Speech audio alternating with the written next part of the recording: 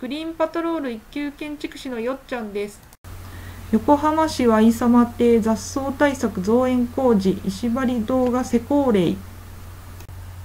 広いお庭のお宅ですね。お手入れ大変そうですね。はい今このお宅草だらけになっちゃいまして、はい。うちのあの雑草対策のホームページをご覧になってご申し込みいただいたんですね。うーんあ石を拭いていますね。何をしてるんですか？はいあの今ここの石を拭いてる部分の石張りをはい、こうしているところにもう雑草がどんどん生えちゃってもう一時はもう膝の高さぐらいまで草が生えちゃったらしいんですよ。はい。それであのもう草が生えないようにあの石張りにしてしまってうん。それであの雑草対策をしているところなんですけれどもね。うん。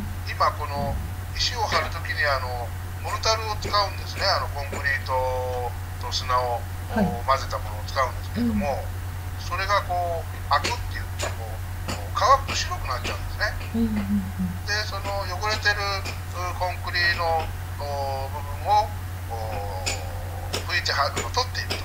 うん。そういう作業をしてます。うん。うんなるほど。ですからここでちょっと手を抜くと真っ白に仕上がっちゃうというでこれが仕上がりの状況で、今一番この噴水の奥の方の、はい。お石張りをお洗ってました。グリーンパトロール社長の刈谷です。